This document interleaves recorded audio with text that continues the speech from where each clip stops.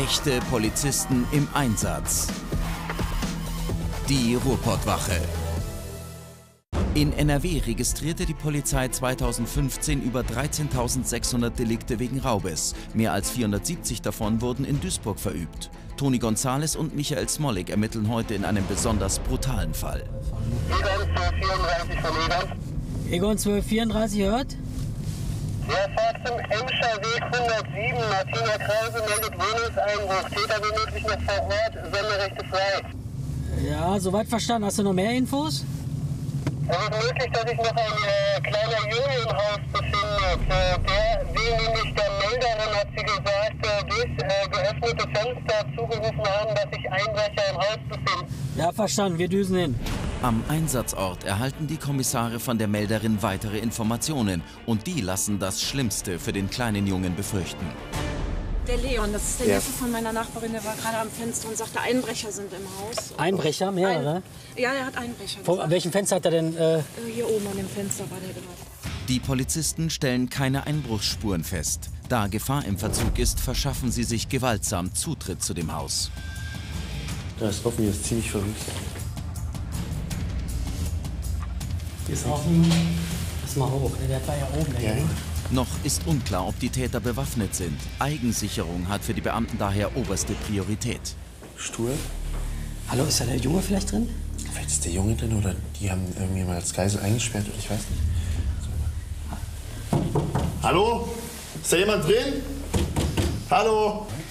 Mal reingehen. Schlüssel steckt von außen. Hey, Hey. hallo? Bleiben Sie da. Hallo? Tun Sie nichts Unüberlegtes. Bleiben Sie oben, bleiben Sie oben. Hey!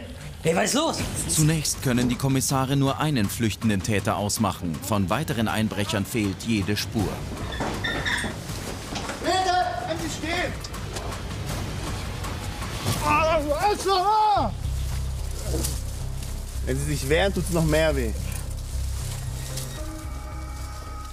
Ist da noch jemand anders im Haus? Nein, Mann. Umdrehen.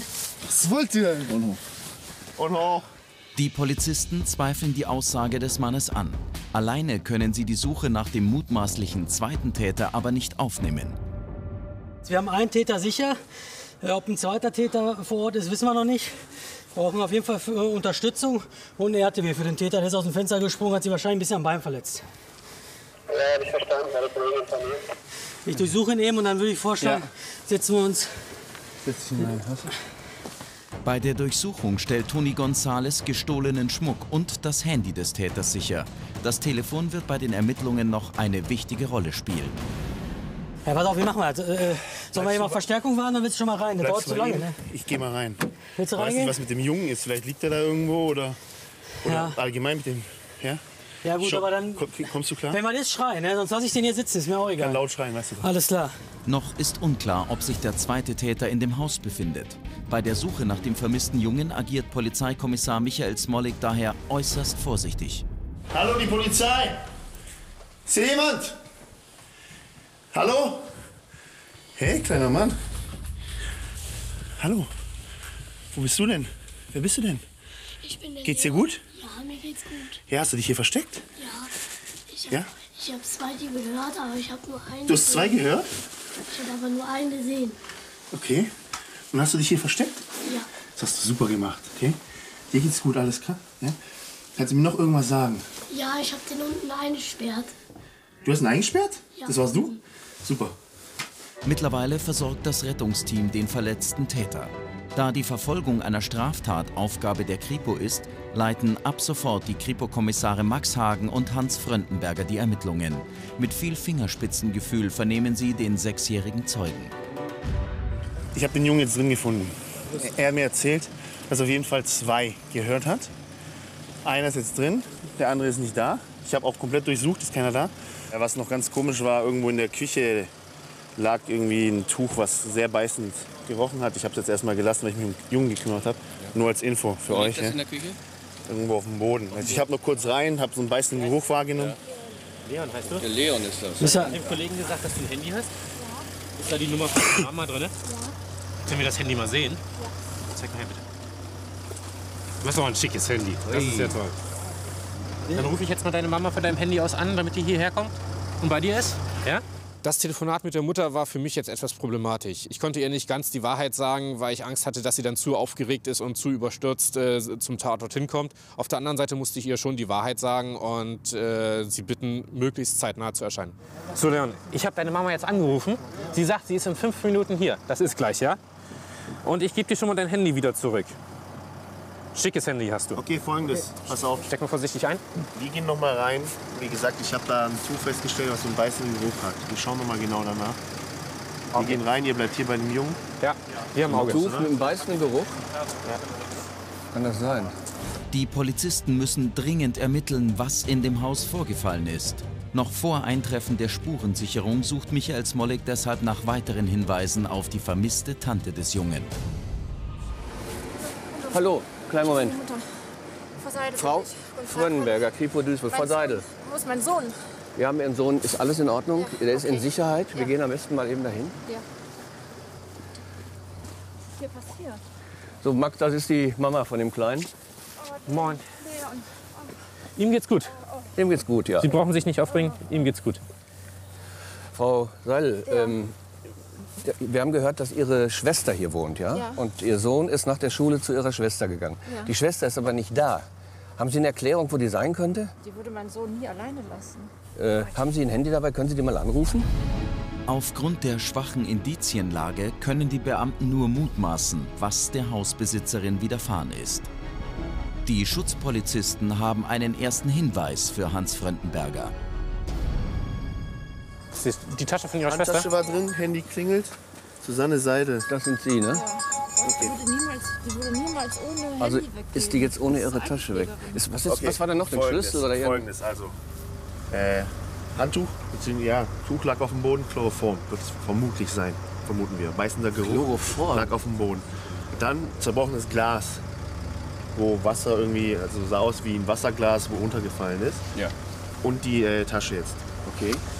Also da gibt es da, da gibt's auch diesen, diesen Wasserglas-Trick oder so. Weißt du, was ich meine? Ja, ja, natürlich. Der Wasserglastrick sieht so aus, dass sich eine Person an einer fremden Tür meldet, dort klingelt und darum bittet, aufgrund einer Erkrankung oder ähnliches, äh, bitte schnell ein Glas Wasser zu bekommen. Wenn die Person, der Bewohner, dann ins Haus reingeht und äh, ein Glas Wasser an die Tür zu holen, bleibt meistens die Tür offen und eine zweite Person kann sich hineinschleichen. Lass mich mal reingucken. Ja, ja. Ähm, Gott. Max, ich würde mir gerne mal einen Blick, einen Ja. Überblick über das Haus verschaffen. Lass uns mal kurz da reingehen. Die Durchsuchung der Handtasche ergibt, dass der Autoschlüssel der Vermissten fehlt. Und auch ihr Wagen ist verschwunden. Die Polizisten vermuten daher, dass der zweite Täter mit der Frau auf der Flucht ist. Umgehend leiten sie weitere Fahndungsschritte ein. Ich habe Rückwärtshalter gemacht. Ne? Auf die Astrid Seidel ist ein Wagen zugelassen. Duisburg, Anton Paula 4533. Ja. Ähm, das ist ja auch Emscher Weg 107. Äh, Fahndung läuft. Äh, schon über Egon äh, eine Fahndung nach dem Wagen und nach, nach der, nach der San nee, Astrid Seidel. Äh, also das läuft auf jeden Fall schon. Okay. Damit ihr nur schon mal wisst, äh, da äh, wird schon großräumig gefahndet. Äh, wahrscheinlich haben wir ja da noch einen Tatverdächtigen, einen natürlich. Unbekannten. Das sieht ja ganz danach aus. Der, Mindestens der, der hat die betäubt und hat die mitgenommen, ne? Sieht das So mal sieht aus? es aus. Ja. So sieht's ja. aus, ne? Würde ich auch sagen. Okay, ja, Ja. Gut, dann reden wir jetzt nicht mehr von. Er ist ja transportfähig. Er ist Ihn können wir ja transportfähig. mitnehmen. Er muss nicht Ja, ja, stationiert nimmt da ihn direkt mit. Dann nehmen wir ihn mit. Was ist mit den beiden? Mit denen schnacke Äh, ich eben, dass die äh, gleich zur Wache kommen. Ja. Wenn der Die Junge sollen sich erst mal kurz um den, um den Jungen kümmern und dann äh, schnellstmöglich zur Wache kommen. Kriminalkommissar Max Hagen und Kriminalhauptkommissar Hans Fröndenberger hoffen, dass der kleine Junge sich schnell beruhigt und weiter aussagen kann. Nur eine Stunde später hat sich der junge Zeuge so gefasst, dass er im Beisein seiner Mutter vernommen werden kann. Seine Aussage liefert den Kripo-Kommissaren tatsächlich neue Erkenntnisse. Ja, Frau Seidel, wir hatten Sie gebeten, mit Ihrem Sohn noch mal herzukommen, weil wir, mein Kollege und ich, der Meinung sind, jetzt wo einige Zeit vergangen ist, ist Ihr Sohn wahrscheinlich ein bisschen relaxter, ein bisschen ruhiger. Und wir hoffen, dass ihm vielleicht noch irgendetwas einfällt, was ihm so in dieser Aufregung nicht eingefallen ist. Äh, Das ist im Prinzip der Wunsch, den wir haben, oder die Hoffnung. Das ist der Grund, weshalb wir Sie noch mal hergebeten haben. Hat er Ihnen noch mal irgendwas gesagt? Herr Leon, du hast äh, gesagt, dass du dir ni- dir nicht so sicher bist. Ne? Ob, er hatte gesagt, ähm, zwar ein Brecher, Ja. also von der Stimmlage äh, könnte es auch vielleicht eine Frau sein. Ja, Leon? Ja. Ist dir das im Nachhinein so aufgefallen, dass es vielleicht auch eine Frau gewesen sein kann? Also ein Mann auf jeden Fall, ja? Und eventuell auch eine Frau. Okay. Aber auf jeden Fall jemand äh, Zweites noch. Ja. Sonst fällt dir nichts weiter ein? Aber wenn dir noch was einfällt, dann sagst du der Mama Bescheid, ne? Und dann können wir uns noch mal verabreden. Wir können auch mal zu euch kommen, wenn du das möchtest. Aber das wäre ganz wichtig, wenn dir was einfällt, dann bitte sag es auch, ja? Okay, super. Dann bringe ich Sie jetzt runter. Ich würde Sie bitten, dass Sie unten noch eben kurz warten. Wir machen jetzt die Vernehmung von dem Täter und falls wir dann noch Fragen haben an Leon, dass wir Sie nicht noch mal herbitten müssen. Einfach unten noch mal kurz warten. Wir beeilen uns auch, okay? Okay. So, da einmal mitkommen, bitte. Die Kripo-Kommissare erhoffen sich von dem Täter neue Informationen über den Aufenthaltsort der vermissten Frau. Doch seine Vernehmung erweist sich als schwierig. Es geht hier darum, dass wir eine vermisste Frau haben. Und wir müssen unbedingt wissen, wo die ist. Wir müssen die aus dieser Gefahrenlage herausbringen. Vielleicht haben Sie auch so ein paar menschliche Gefühle, dass Ihnen das mal klar ist, in welcher Lage Sie sich befinden. In welcher,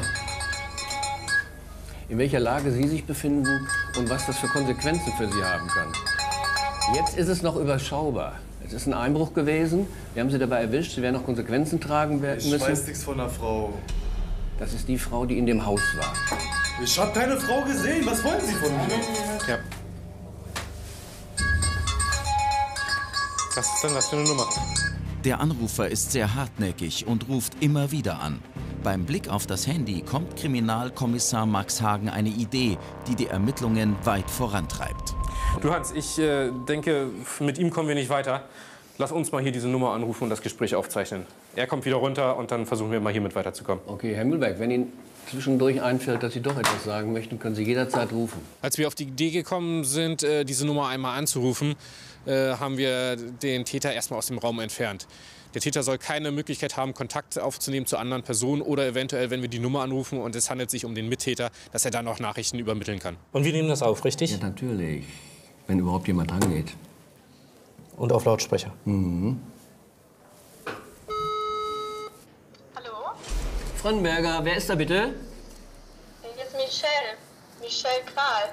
Hallo, Frau Wassenberger, bitte. Äh, Wer ist denn da? Michelle Kral. Wo sind Sie zurzeit, Frau Kral? Ich bin gerade zu Hause, wer will das wissen? Ja, Frau Kral, Frönnberger von der Kripo in Duisburg. Ich müsste Sie mal sprechen, zusammen mit meinem Kollegen. Zum Arzt. Ja, ich müsste Sie aber mal sprechen. Wann können wir das machen? Ja, aufgelegt. Du, dann lass uns mal gucken, was wir hier über die Kral finden. In Duisburg ist die Frau nicht gemeldet. Die Kommissare vermuten, dass ihnen ein falscher Name genannt wurde. Beim Abhören des Telefonats fällt ihnen ein entscheidender Hinweis auf. Hier ist Michelle. Michelle Kral. Hallo, Frau Wassenberger, bitte. Als wir das Gespräch mit der angeblichen Michelle Kral geführt haben, haben wir im Hintergrund äh, einen neuen Namen erfahren. Das ist jetzt ein vager Hinweis, aber wir versuchen jetzt, diese Frau zu finden, um über diese Frau, die Michelle Kral, zu finden. Beate, ja gut, ob die das jetzt ist, klar, das weiß ich nicht. Beate Reich, aber das ist ein Doppelname, der ist doch nicht an äh, alle Nasen lang. Reichenberger Witwe. Ich habe den noch nie gehört. Weiblich, deutsch, Geburtstag. Und eine Telefonnummer. Und eine Telefonnummer, ruf doch mal an. Die Kripo-Kommissare erreichen nur den Mann der gesuchten Person. Von ihm erfahren sie, dass sich seine Frau seit ein paar Stunden in ihrem Schrebergarten in Duisburg-Rheinhausen aufhält. Wichtig ist für uns nur, dass wir Ihre Frau jetzt erstmal finden.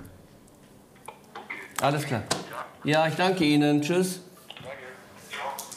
Der hat ja schon mal mitgespielt. Michelle Kral. Ja. Ja, Äh, die Reichenberger Witte war dann mit der Michelle Kral zusammen. Und die Michelle Kral versucht, unseren Typen zu erreichen. Die Michelle Kral gibt's aber nicht. Das stimmt Genau. doch. Ja, eben. Das stimmt ja gar nicht.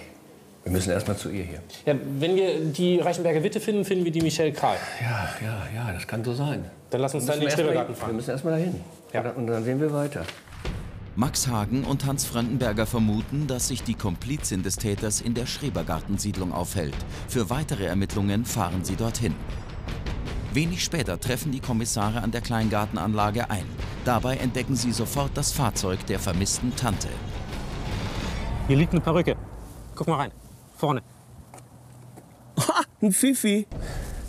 Und jetzt? Vermute mal, dass, dass die Häuser in diese Richtung sind. Die Kripo-Kommissare folgen der Wegbeschreibung, die ihnen der Ehemann zuvor am Telefon gegeben hat. An der genannten Parzelle entdecken sie zwei Frauen. In der Kälte arbeiten Sie hier? Ja, unser Hobby. Sie arbeiten sich warm, ne? Ja, Frönnenberg, das ist unser Hobby. Frönnenberger, Kripo Ja. Duisburg. Was Hallo. ist denn hier los? Ist was passiert? Mein Mann Äh. hat mich schon informiert, Sie haben schon mit ihm telefoniert. Ah, deshalb wissen Sie, dass wir von der Polizei sind. Hat er gesagt, die kommen gleich. Ja, das ist ja, auch, ist ja auch in Ordnung. Also erstmal Frau Reichenberger, bitte. Sie sind das? Okay. Äh, wir sind hier, um etwas zu ermitteln. Äh, und zwar äh, geht es um einen recht komplizierten Sachverhalt. Äh, wir suchen eine Frau, die entführt worden ist und vermuten, dass die hier äh, oder dass sie oder dass sie uns möglicherweise dabei weiterhelfen können. Es, kann, es kann vielleicht sein. Also hier nebenan ist die ganze Zeit so eine junge Frau. Die ist ziemlich nervös. Also das ist uns schon aufgefallen. Telefoniert, Behandlung. Die hat nervös telefoniert und ist dann irgendwie wieder Ja, weggegangen. das ist uns wohl schon aufgefallen. Das wäre jetzt meine Anschlussfrage gewesen. Äh, Sie möchten sicherlich wissen, wie ich auf Ihren Namen komme, oder? Ja. Wir haben mit einer Dame telefoniert und im Hintergrund, äh, wir haben uns das mehrfach angehört, deshalb sind wir uns auch sicher, da fiel der Name, äh, Hallo Frau Reichenberger-Witte. Das bin ich, genau. Das sind Sie. Das muss vor, Max, vor einer halben Stunde so? 25 Zu der Zeit war sie- Ja, genau, zu der Zeit war sie auch beim Prüfung telefonieren. Und dann da war auf Wie kommen Sie jetzt auf diese Frau da? Weil die Frau da im Garten telefoniert hat und jetzt ist sie auf einmal wieder weg. Dann könnte es ja sein, War gerade noch da. Also ziemlich nervös. Ja. Die war also richtig nervös. Ist uns aufgefallen, Auf und ab und ja Fingernägel alle. irgendwie alle, geknibbelt ne? und so. Ja. ja, ja gut, ob sie jetzt nervös ist oder nicht, das wird sich noch rausstellen. Wissen Sie, wer das ist? Ich weiß nur den Namen, das ist die Michelle Körber. Weiß ich nicht. Michelle? Michelle? Stand. Michelle? Und bei Körber sind Sie sich sicher? Ja, das weiß ich. Wie gesagt, wir kennen uns ja hier alle. Mitten in der Vernehmung fällt den Polizisten etwas Verdächtiges auf. Frau Körber? Hallo. Bleiben Sie mal stehen, Frau Körber. Frau Körber, bleiben Sie stehen, Polizei. Ich sag, bleiben Sie stehen. Halt! Als Sie gerade versucht haben zu fliehen, müssen wir Ihnen jetzt erstmal die Hand festhalten. So, das war's jetzt erstmal. So, geht das? Gehen wir erstmal zurück. Warum flüchten Sie vor uns? Ja, da kommen fremde Männer in meinen Garten. Sie hätten sonst wer sein können. Ist da noch jemand drin? Nee, da ist niemand drin. Da ist niemand drin. Nee. Äh, wir würden uns gerne mal davon überzeugen. Nee, warum? Wir suchen eine Frau. Eine Frau, die entführt worden ist.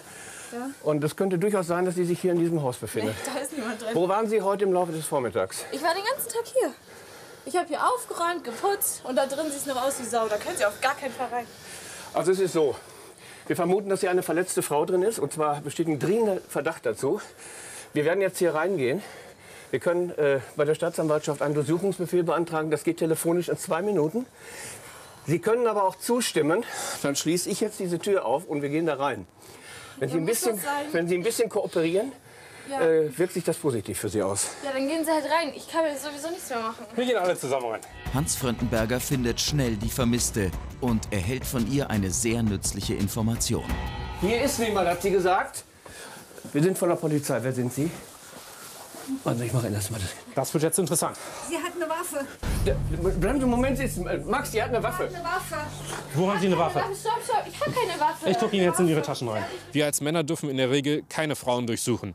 Wenn wir jetzt aber eine Gefahr für Leib oder Leben haben, was ja der Fall ist, wenn die Person immer noch eine Waffe bei sich trägt, habe ich sie doch grob abgetastet und ihr alle Gegenstände abgenommen. Was ist mit Leon? Wie geht's Leon? Der kleine Leon, dem geht's wunderbar. Der, der, ist, der ist bei seiner Mutter. Da brauchen Sie sich keine Sorgen machen.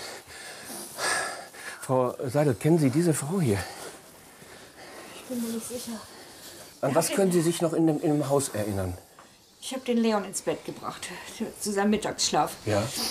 Und dann hat es geklingelt an der Türe. Ich habe aufgemacht und dann stand ein Mann vor der Türe mit einer Frau, mit einer dunkelhaarigen Frau. Die wollten ein Glas Wasser haben. Die Frau war unheimlich blass im Gesicht, ihr ging es nicht gut, die wollte eine Tablette nehmen. Dann bin ich in die Küche gegangen und wollte ein Glas Wasser holen. Ja. Und in dem Moment kamen die beiden hinter mir her und dann, ich habe nur noch gemerkt, ein Tuch vors Gesicht und dann weiß ich nichts mehr. Die Polizisten ermitteln, dass die Täter das betäubte Opfer in den Kofferraum sperrten, um in Ruhe das Haus leer zu räumen. Nachdem der Mann von dem Kind eingeschlossen wurde, raste seine Freundin in Panik mit dem Auto davon. Frau Seidel, wir gehen mal nach vorne. Wenn der RTW gleich kommt, dann sieht er uns besser, ne? Kommen Sie mal mit. Sie können ja laufen, ne? Ja, geht. Okay. Ach, was ist Oh, das da denn? ist er. Leon. Mein Gott. Ja. Frau Seidel. Oh, oh. Mir ist nichts passiert. Astrid. Geht Sie gut? Ja. Ehrlich, alles okay? Ja. Frau Seidel, Jetzt sagen Sie mir doch mal, wie Sie jetzt den Weg Ich, hierhin ich habe gefunden hab haben. das Auto da hinten von meiner Schwester gesehen. Wie kommen Sie denn überhaupt jetzt ich habe das mitbekommen auf der Wache. Oh, ich bin so glücklich. Ich Sie hab wissen, in welche Gefahr Sie sich begeben. Wir sind hier mitten in einer Handlung. Hier geht es um eine Festnahme. Entschuldigung. aber auf der anderen Seite, Frau Seil, ich kann Sie verstehen. Ja. Das ist Ihre Schwester. Oh, Begrüßen ja, Sie sich oh. erstmal. Hier geht es nach wie vor so gut, froh, ne? Okay. Ich habe so eine Angst gehabt. Ist ja nichts passiert. Alles gut, alles gut. Hauptsache ihm ist. Die Täterin erhält Anzeigen wegen schweren Raubes, Hausfriedensbruchs, Bedrohung und Freiheitsberaubung. Ihr Komplize muss sich wegen schweren Raubes, Hausfriedensbruch und Körperverletzung verantworten.